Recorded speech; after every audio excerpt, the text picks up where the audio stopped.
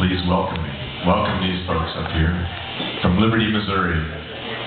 The Sash.